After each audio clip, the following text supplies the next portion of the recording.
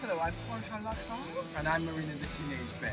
And on the 2nd of June, you need to get your ass down to DM Lovers at Cabaret Voltaire for the EP launch of Pirate Stuff. Because we will be there.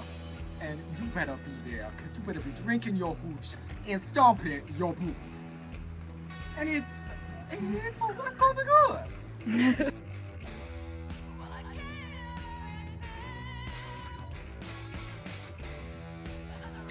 Go.